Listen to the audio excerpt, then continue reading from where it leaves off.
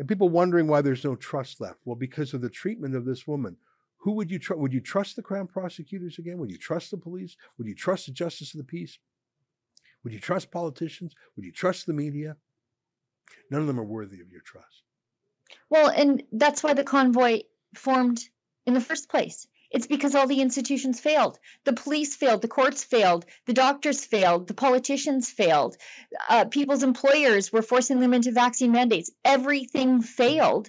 And so the truckers decided they were going to sort this out for themselves. And it continues. You know, it, it continues until today. Now, finally, a judge somebody trained in law looked at this and said, settle down. These are minor charges. She's not a danger to anybody. And basically, I don't care about your feelings. Yeah. She gets to go free. Yeah. Excuse me. Hey there. Sorry, I'm interrupting myself actually, but I want to tell you what this is. This is a free version of the Ezra Levant show. Now, normally it's behind a paywall and you have to become a subscriber to what we call Rebel News Plus to see it. But once a week, we take a show from behind the paywall and put it up so you can see what you're missing. Now, I hope you enjoy this show enough to become a subscriber. Go to rebelnewsplus.com. Eight bucks a month, which is about half the price of Netflix. You get my show every weekday, plus four other weekly shows from other rebels. Enjoy the show, and if you like it a lot, why not subscribe? Okay, back to the show.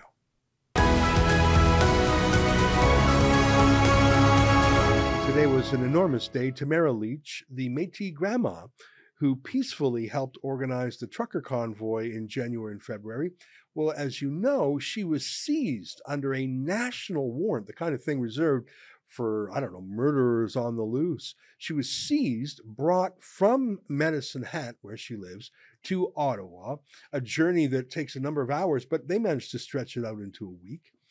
Uh, she was put before a justice of the peace, not a judge, not even a lawyer, just some guy who um, kept her in prison. And it was only today that a real judge heard the matter again from scratch and said, no, the woman can go free. And it was a good day for freedom. It feels like a little bit of an echo of Arthur Pawlowski's good day for freedom last week. Unfortunately, both Arthur Pawlowski and Tamara Lich had to serve weeks in prison before they got the good news. But Sheila Gunn Reid was covering the entire trial today via remote, via video feed. I really recommend you read her Twitter stream. We've also collected them in a written article on Rebel News. And Sheila joins me now via Skype from her headquarters in Edmonton. Sheila, great to see you again. I really enjoyed your Twitter feed today. I was riveted by it. I couldn't refresh. Click, click, click. I was waiting for the uh, updates. And obviously, I wasn't alone. Uh, it looked like tens of thousands of people were following along in real time. Maybe, maybe even more than that. I've just, I've never seen such Twitter engagement on your feed, feed before. I think people were riveted. I think so too. I think, um, you know, for the layperson to tune into court, it can be a little bit difficult. And it even is for me, and I do court reporting all the time to sort of weave through the legal language. But what we saw in court today was an actual judge making an actual ruling on the actual evidence before him. And this judge just ripped apart the assessment of the prior justice of the peace, a, a non lawyer who had ordered Tamara Le- Lich's bail revoked and sent her back to jail at the end of June. Today, she was it marked 49 days of incarceration for her on minor mischief charges minor stuff that as a 49 year old person with a non criminal background she would likely not even spend a day in jail for what yeah. she's done but she's approaching 49 days in jail. And the last thing I heard that judge say today was, Madam Constable, take off those shackles. Yeah. You know, uh, it's been a while since I practiced criminal law. I haven't practiced any law in over a decade.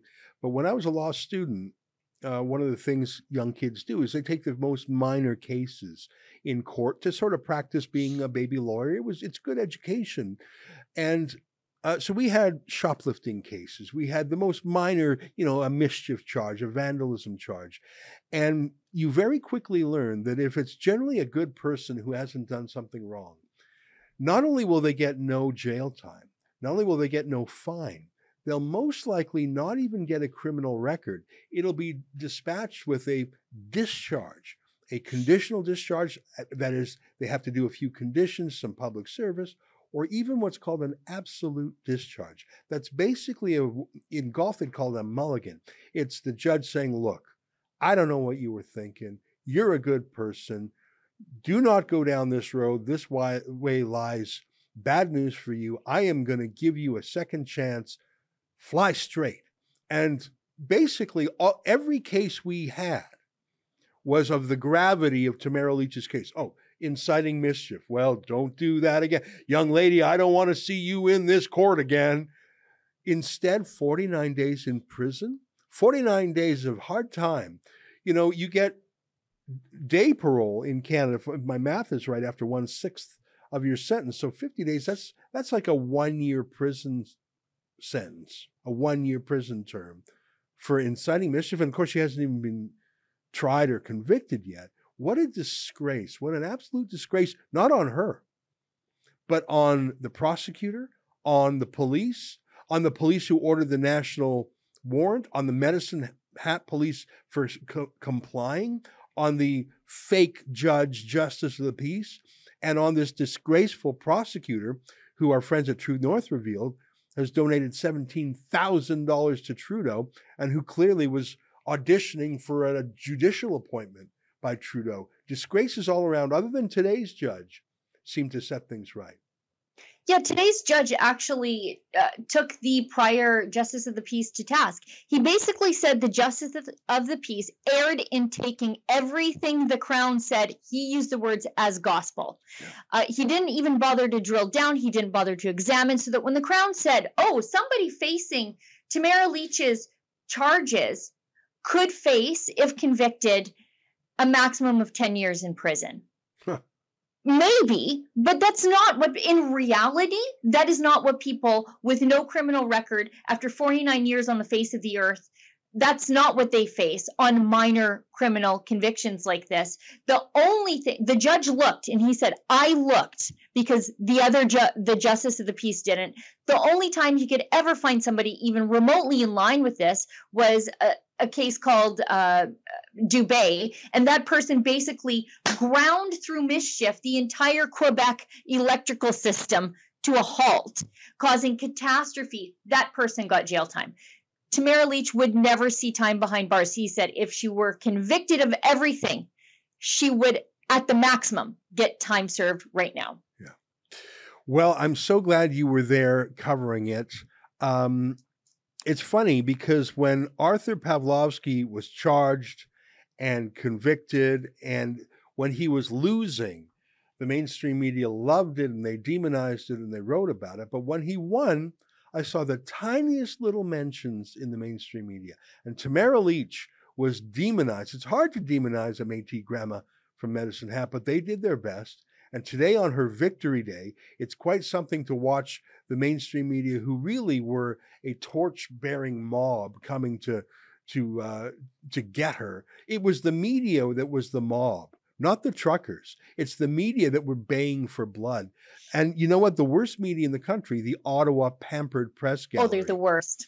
And uh, I'm just so glad that you were there covering it to provide the other side of the story. Never believe a word the CBC says. Never believe a word that the mainstream newspapers say. You just can't. They lied to you about the trucker rebellion in the first place. Do you really think they would tell you the truth about the trial? You know, there are a lot of times during this uh, hearing today and yesterday where the judge basically had to remind the Crown, and I suppose by extension the mainstream media, who also, like the Justice of the Peace before this judge, repeat everything the Crown says without any sort of skepticism, had to remind them that she is not charged with sedition. She's not charged with inciting a riot. She's not charged with rioting. She's charged with very minor things under the law. And basically, the judge had to remind the Crown several times today and Yeah. yesterday settle down quit Yeah. acting like a drama queen this is Yeah. very minor stuff you should not be asking to hold this woman up until her trial date which Yeah. is not set it could be 2 years out to hold her until her trial date on causing really what amounts to an extended traffic snarl in the nation's capital Yeah. Well, uh, it's quite something. All the things we were told to respect. We were told to respect the Charter of Rights and Freedoms. Until Arthur Pawlowski's ruling last week, that Charter of Rights and Freedoms was about as um, well, it was completely useless to, to come to it. It hasn't rolled back a single lockdown measure at all. We were told to respect the independence of the prosecution. Oh, so you take the top liberal donor in Ottawa and you let him run rampant against the Métis grandma. We're told to respect the courts. So you throw a, a non judge, non lawyer, justice of the peace who has no idea what the hell he's doing, and he throws someone in prison for two months. Yep. All the things with you, the Ottawa police, the most disgraceful police in the country under their thuggish chief, all the things we were told to respect and look up to, every one of them is ashes. And, uh, and people wondering why there's no trust left. Well, because of the treatment of this woman. Who would you trust? Would you trust the crown prosecutors again? Would you trust the police? Would you trust the justice of the peace? Would you trust politicians? Would you trust the media? None of them are worthy of your trust. Well, and that's why the convoy formed in the first place. It's because all the institutions failed. The police failed, the courts failed, the doctors failed, the politicians failed, uh, people's employers were forcing them into vaccine mandates. Everything failed. And so the truckers decided they were going to sort this out for themselves. And it continues. You know, it, it continues until today. Now, finally, a judge somebody trained in law looked at this and said, settle down. These are minor charges. She's not a danger to anybody. And basically, I don't care about your feelings. Yeah. She gets to go free. Yeah. Well, I'm so glad you were in there, and so many people followed your live tweeting, and we compiled them on the website for folks who uh, want to read it. Go to rebelnews.com. It's on the website, or go to Sheila's Twitter feed, which is also a fun way to read it as in chronological order. Great to see you, my friend. Thanks for doing such good reportage. You really are telling the other side of the story. Thanks, boss. All right, there you have it, Sheila Gunn Reid. We don't call her our chief reporter for nothing. Stay with us. Uh, your words to me next. What you just saw was an excerpt from my nightly show, The Ezra Levant Show. Every weekday, I do a monologue. Usually it's about half an hour then I interview an interesting guest, and then we read my hate mail or my fan mail, whichever is more fun.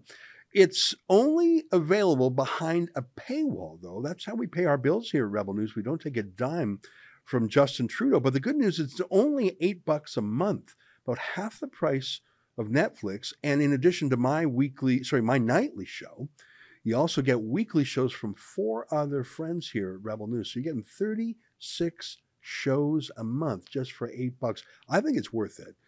And even if you're not quite sure, do it anyways because we rely on viewers like you to keep us free and independent. I promise you, I'll never take a dime from Trudeau. Just go to rebelnewsplus.com and click subscribe. Thanks.